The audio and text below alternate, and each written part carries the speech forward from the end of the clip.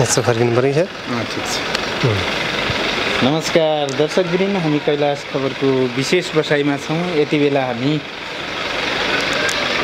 आठबिस नगरपालिका वडा नम्बर चार अथवा जहाँ आठबिस नगरपालिकाको केन्द्र छ त्यहाँ उपस्थित भएका छौँ। हामी मध्यपश्चिमको रिपोर्टिङमा छौँ। तपाईँहरूलाई प्रणालीको सेरोफेरोमा यहाँका वस्तुस्थितिका बारेमा यहाँको जनजीवन यहाँको रहनसहन यहाँ के कसरी एनजिओ आइएनजिओ प्लस यहाँको स्थानीय सरकारले कसरी हेरिरहेको छ भन्ने विषयमा हामी कुराकानी गरिरहेका छौँ। आजको यो बसाइमा हामीसँग टेकबहादुर थापा हुनुहुन्छ।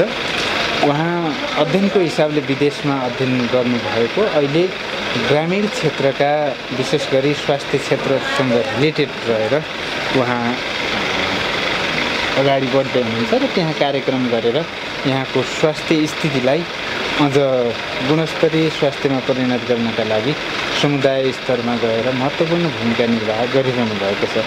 मैले भूमिका यति बाँकी दर्शक आ- म अब उहाँसँग कुराकानी गर्दैछु। यहाँलाई स्वागत छ। नमस्कार धन्यवाद।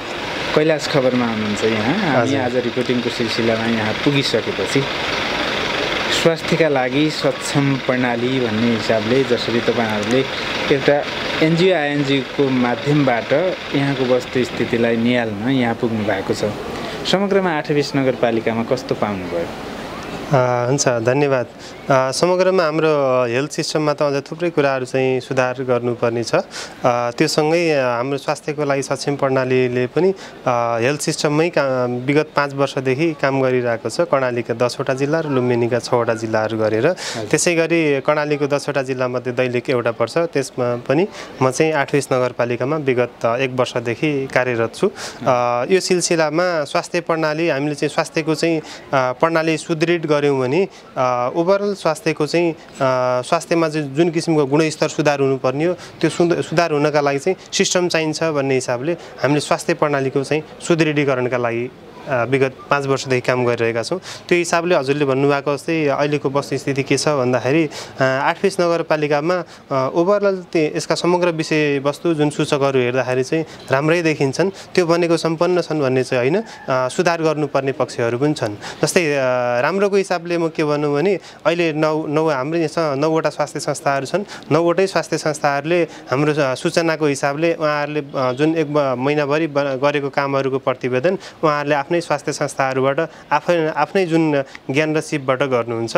अनि त्योसँगै समग्र हाम्रो चाहिँ स्वास्थ्य संस्थाहरूमा सबै स्वास्थ्य संस्थाहरूमा बर्खायाम बाहेक चाहिँ सधैँ सबैमा चाहिँ सवारी साधन पनि पुग्ने गर्छ।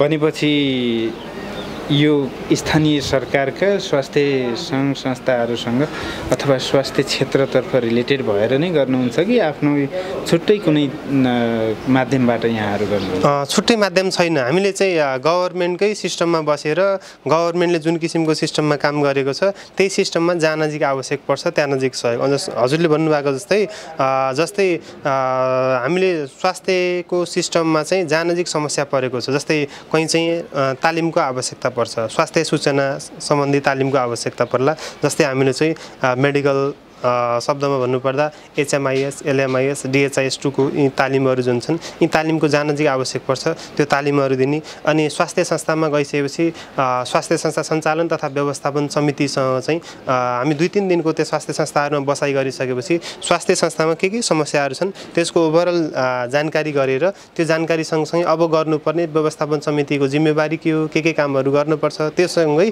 अब हामीले चाहिँ स्वास्थ्य संस्थामा को सुधारका लागि चाहिँ गुणस्तरीय स्वास्थ्य सेवा दिनका लागि चाहिँ के के कुराहरूमा ध्यान दिनुपर्छ भन्ने हिसाबले हामीले काम गर्छौँ। त्योसँगै हजुरले भन्नुभएको जस्तै छुट्टै कुनै छैन। गभर्मेन्टमै बसेर जहाँ जहाँ सपोर्ट गर्नुपर्ने छ त्यो त्यो पाटोमा गभर्मेन्टसँगै सिस्टममै बसेर सँगसँगै काम गर्ने गर्छौँ हामी। यहाँहरू जोडिनुभन्दा पहिलाको सिस्टम र जोडिसकेपछिको सिस्टममा के अन्तर पाउनुभयो अनि त्यसलाई परिमार्जन गरेर अथवा त्यसलाई प्रवर्धनका लागि अगाडि बढ्दाखेरि के के गर्नुपर्छ भन्ने लाग्छ। धन्यवाद। यसमा हामी जोडिनुभन्दा अगाडि र अहिलेको तुलना गर्ने हो भने अ, स्वास्थ्य कर्मीहरूमा या स्वास्थ्य कर्मी साथीहरूमा जुन किसिमको चाहिँ ज्ञान र सिपको चाहिँ विकास हुन पर्थ्यो त्यो अझ अझ राम्रो तरिकाले विकास भएको छ। पहिलेको तुलनामा अहिले थुप्रै तालिमहरू भएका छन्। त्यो तालिमहरूले गर्दा जुन ज्ञान र सिपमा चाहिँ अ, त्यसमा चाहिँ थप विकास भएको छ। त्यो सँगै अर्को जस्तै हामीले जस्तै नियमित गर्ने रिपोर्ट रिपोर्टिङमा सुधार भएको छ। त्यो सँगै जस्तै हामीले जुन प्रोटोकल अनुसार अर्थात् निर्देशिका अनुसार गर्नुपर्ने कामहरू ती चाहिँ स्वास्थ्य संस्थामा हुनुपर्ने कामहरू भएका छन्। त्यस्तै पालिका स्तरमा बन्नुपर्ने स्वास्थ्य नीतिहरू स्वास्थ्य ऐनहरू यसमा हाम्रो सहयोग निरन्तर विगत पाँच वर्षदेखि नै छ। यिनलाई चाहिँ स्वास्थ्य नीति र बन्ने एउटा पाटो हो। त्यो बनिसकेपछि त्यसलाई चाहिँ कार्यान्वयन हरेक बुदागत रूपमा कुन कुन पूजामा के के भनेको छ त्यो अनुसार कार्यान्वयन भयो कि भएन भन्ने कुरामा पनि हामीले फलोअप गर्छौँ। त्यो सँगै अहिले चाहिँ ती स्वास्थ्य नीति ऐनहरू पनि बनेका छन् र कार्यान्वयनको चाहिँ चरणमा छन्। यो पनि एउटा चाहिँ सुधारको पक्ष हो। विशेष गरी स्वास्थ्य क्षेत्रतर्फै जाउँ। यहाँ कतिपय भिरबाट खसेका मृत्युवरण गरेका अझ कर्णाली राजमार्ग भनौँ न मृत्युमार्गको रूपमा परिचित कर्णाली। यसलाई परिवर्तन गर्नका लागि अथवा त्यो मृत्युमार्गलाई रूपान्तरण गरेर सहज यात्राका लागि र स्वास्थ्य उपचारका लागि सहज पहुँच बनाउन समुदायले कस्तो भूमिका निर्वाह गर्नुपर्छ त्यो अवस्थामा पुग्न के गर्नु पर्ला र अब स्टेसर उपचारको अन्त्य गर्नका लागि यहाँहरूको संस्थाबाट कस्तो भूमिका निर्वाह गर्नुपर्छ होला अनि स्थानीय सरकारलाई के सुझाव सल्लाह आउनसक्छ अन्तमा? धन्यवाद। जस्तै हजुरले एकदमै गजबको चिज उठाउनु भयो जुन स्वास्थ्य सेवाको पहुँचमा ल्याउनका लागि के गर्नुपर्छ भन्ने कुरा हाम्रो परियोजनाको उद्देश्य भनेकै अघि सिस्टम सुदृढीकरण भनेपछि स्वास्थ्य सेवाको पहुँचभन्दा बाहिर रहेको चाहिँ सङ्ख्यालाई चाहिँ स्वास्थ्य सेवाको पहुँचमा ल्याउने भन्ने हुन्छ।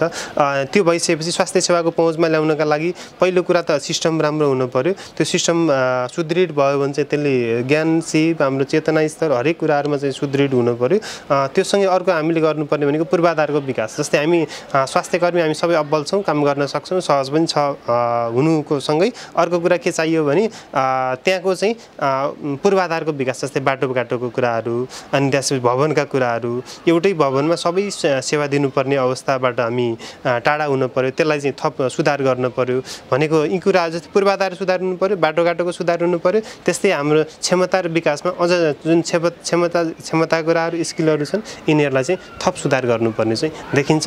यसले गर्दाखेरि जुन पहुँच स्वास्थ्य सेवाको पहुँचभन्दा बाहिर रहेको जनसङ्ख्या छ त्यो पनि स्वास्थ्य सेवाको पहुँचमा चाहिँ ल्याउन सकिन्छ। समय दिनुभयो विचार दिनुभयो त्यसको लागि कैलाश खबरको तर्फबाट यहाँलाई धन्यवाद। हुन्छ। कैलाश खबरलाई पनि धेरै धन्यवाद। यसो यसरी मेरो केही अनुभव राख्ने अवसर दिनुभयो। यहाँलाई विशेष धन्यवाद। हस्।